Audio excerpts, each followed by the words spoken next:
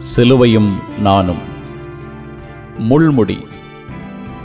நான் தான் முள்முடி பேசுகிறேன். பூவுக்கு மரியாதை பூமி முழுதும் உண்டு. முட்களுக்கு மரியாதை சில இடங்களில்தான். காலத்தை காட்டும் கடிகாரம் முட்களால் மதிக்கப்படுகிறது. காலத்தை கடந்த கடவுளும் இங்கே முட்களால் அறியப்படுகிறார். தரையோடு தவழ்ந்த நாங்கள் தலையோடு அமர்ந்தது இயேசுவிடம்தான். பாதங்களை பதம் பார்த்து கிடந்த நாங்கள் பதவி உயர்வு பெற்றது இங்கேதான். கர்த்தரின் தலையில் இருந்தாலும் கர்வப்பட முடியவில்லை.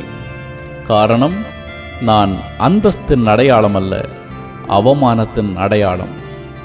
நான் மகிமையின் அடையாளம் அல்ல மறுதலிப்பின் அடையாளம்.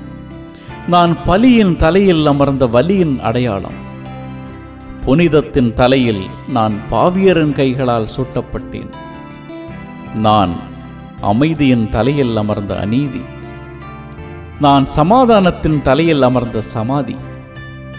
ஆதாமின் பாவம் மண்ணின் தலையில் முட்களை முளைப்பித்தது. ஆண்டவரின் பாவ நிவாரணம் விண்ணின் தலையில் முட்களை மகுடமாக்கியது. வெண்முடி சூடியவரின் தலையில் முள்முடி நான் அமர்கிறேன். பிரபஞ்சத்தின் முடிசூடா மன்னனுக்கு மணிமுடியாய் நான் அமர்கிறேன்.